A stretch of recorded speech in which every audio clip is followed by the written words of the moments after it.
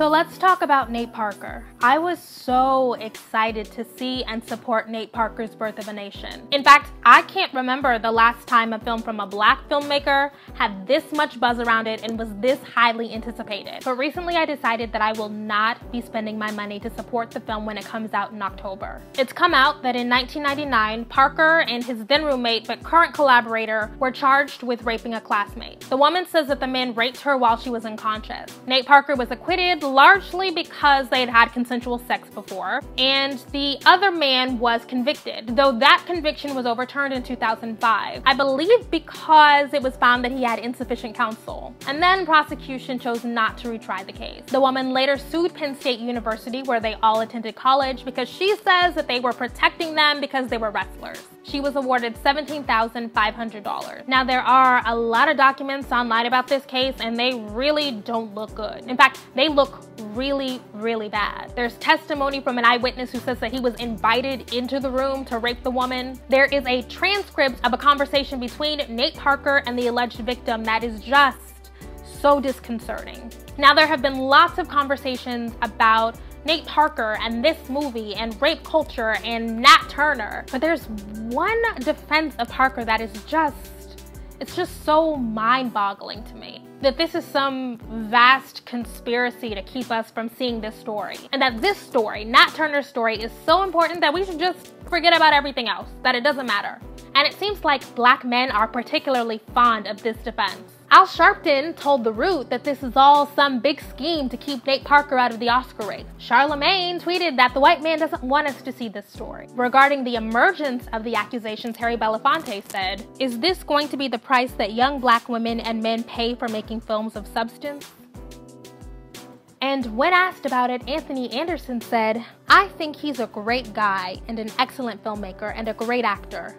That's what we should focus on. So I actually get why black folks love conspiracy theories. I get why we gravitate toward them. We've been targeted in every way imaginable. The odds are stacked against us, but this isn't a setup. So let's get something straight. Nate Parker wrote and directed the film and he funded it independently. But now there's a whole lot of white folks' money tied up in Birth of a Nation. Fox Searchlight, which is not a small company, bought the rights to the film for $17.5 million.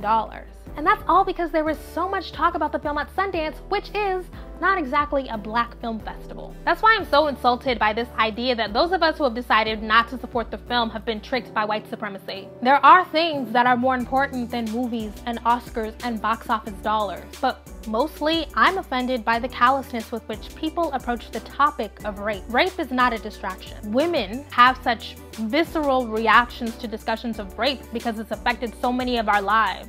A 2011 study from Black Women's Blueprint found that 60% of black girls are sexually assaulted before they turn 18. And I choose to believe women because only between 2 and 8% of rape accusations are provably false. So saying that there are bigger issues than our concerns about Nate Parker and his association with this film is an outright dismissal of our experiences and our desires for safety. And regarding the timing issue, yeah, the timing is definitely bad for Nate Parker. But that's because most of us aren't trolling people's pasts looking for things to discredit them. Actually, it's much easier as a consumer to not know anything about the artist because then you don't have to worry about having any guilt about enjoying what they create. But once you know, you have a responsibility to act.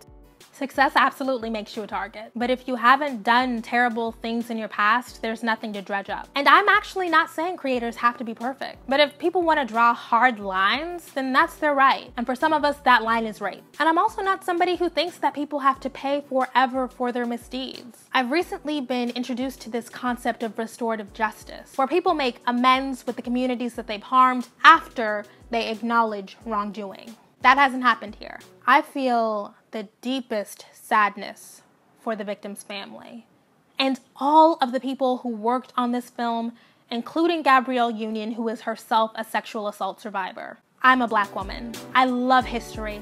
I love black people. I really want this story to be told. But I also want rapists to be held accountable. I want to live in a world where women don't have to worry about our safety. That's more important to me than my personal pleasure. Writer Roxane Gay captured that sentiment perfectly in her article for the New York Times. I cannot value a movie, no matter how good or important it might be, over the dignity of a woman whose story should be seen as just as important. She's right. We are all figuring this stuff out. We all make negotiations. So I've decided that I'm actually not going to judge people who decide to see and support this movie. But I'm gonna pass.